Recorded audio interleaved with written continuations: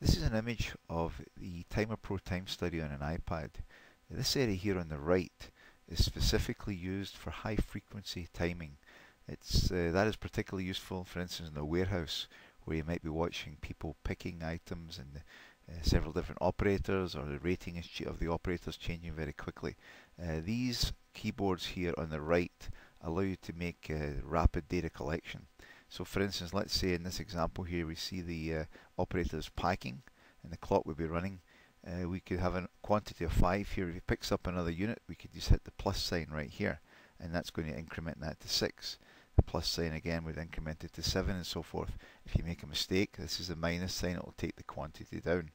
In the same way, you can change the operator rating up at the top here very quickly without having to make the normal selections um, that would be made, required to enter, enter, a quantity or change the rating.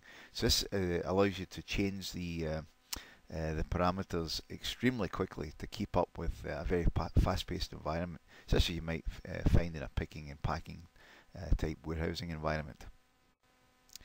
So here we have a simple warehouse example on a Android device. Uh, you can see here we've got some basic elements here. We're going to click on the option button down at the bottom left and we're going to go to the info. Now to turn on the advanced uh, capturing for the rapid data collection we say expand rating and quantity here and it puts those buttons directly in here for you. Now you're ready to start your time study. So you can click with start button just like you would at any time.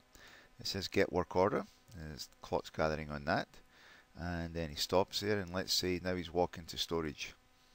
Alright, so he's walking to storage. Maybe he's not walking exactly 100%. You can just touch the rating here and that'll change it to 85 down here. Just clicked on the 85 and that will be carried forward to subsequent observations until you decide to change it again.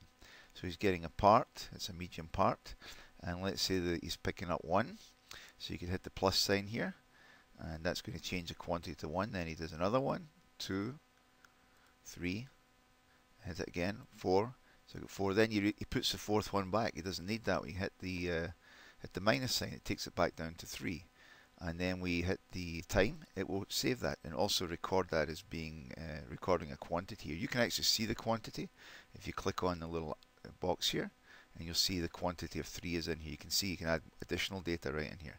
So we'll just cancel out of that now, and now he's packing the item off, and that's going fine. And then he updates the order sheet and then he's going to get the next one. So he gets the next order. Uh, he walk into storage now, and maybe he starts picking up his pace a little bit. So you might click on the 95 here, and that's going to change the rating here to 95. That again will be carried forward to subsequent observations. So let's say he's picking, getting a medium part, and you're doing the quantity again. So you count the one, two, and then we hit the uh, the OK, and that commits that the quantity here, and I hit the time. And now he's getting, we expect him to do a pack, but instead he's getting a small part. So we click on get part, it's a small. Now he's picking up these, so we can do the same for that. One, two, and let's say he picks up a box of 12. Clear it, and put 14 in here. Right, and then now you're going to wait till he finishes that, hit the time, and then maybe picks up some large parts. You can click on large, and these might be large but light items, and he's picking up five of those, so you can just put a five in there and you've got that uh, entry right there. You hit the time. And it records that in there as well. So you can see what we're doing. We're basically accumulating uh, different uh, quantities in here very rapidly. And um, let's say now he does another one he goes back. Now he does some packing. So he's packing the items off. And then he's going to update the order sheet. And uh, nothing unusual happening there. Get the work order and then he really starts to speed up perhaps he's coming towards the end of the shift so you might raise them to 105 and he's moving along quite quickly. He gets a medium part so we're going to count those. We do plus on that. So maybe we do three items. Right? And maybe a fourth one and maybe a fifth one. And then he does that. And again he does another one. He picks up some smalls.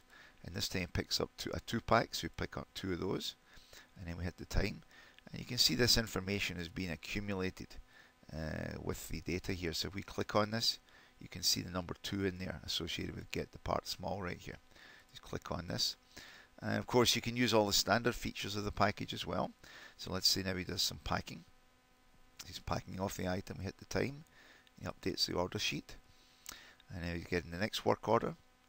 And now he's back to a normal rating of 100. We can just click on 100. Now just so you see it here, if I want to go to higher values, I can hit the plus sign here and it will take you up. I can keep on going up depending on your rating scale. I can go down as well. See, so you can scroll down to get different rating values as you're moving through here. We're going to put them back to 100 here. It's with normal pace. Uh, hit the time. Now he's going to.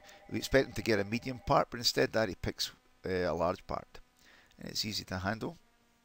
So say it's light, and let's say there's four of them, right? And they do that, and then we can do the time, and then we're going to do the pack, and hit the time when he does that. Update the order sheet, and maybe this time instead of getting another order, he goes back and gets more items. So we can come back to this, pick up small. He might pick up six items, and we hit the time on that.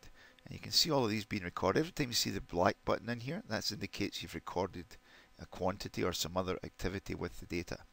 And now he's doing some pack on that item. And then we expect him to update, and he updates the order sheet. He doesn't get another order this time either. He goes back and gets more.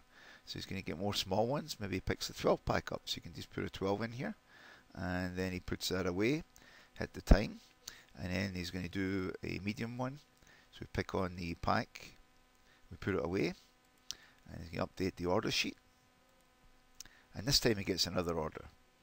And so you continue doing this uh, using the on-screen keyboard here. When you finish, you just hit the stop button. And um, you can toggle this. This is a toggle. You can toggle it on and off. So if I come to the info and I say click on it again, it will remove it from there. So again, turn it on. You just hit the uh, option button at the bottom left, the menu button you click on the info and you select expand the rating it puts it back on so it toggles it back back on and off this allows you to gather data very rapidly in a high volume high frequency operation you might find in a warehouse or a distribution center